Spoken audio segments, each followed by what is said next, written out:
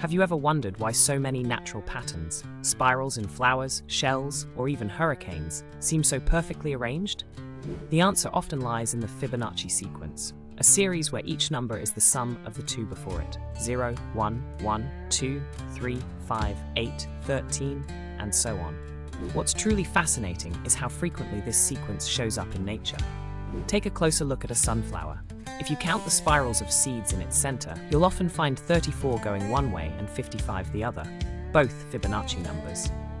This isn't a coincidence. Nature uses this pattern to optimize space, ensuring seeds are packed efficiently with minimal overlap.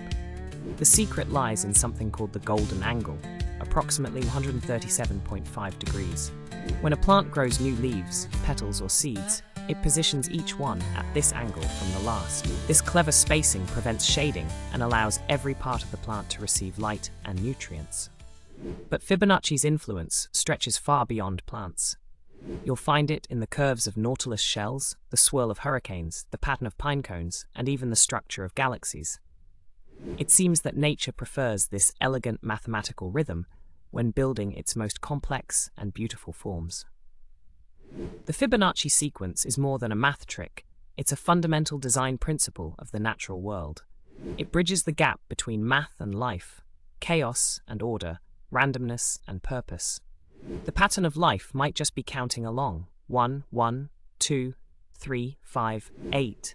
Where else do you think this hidden sequence might be waiting to be discovered in the natural world?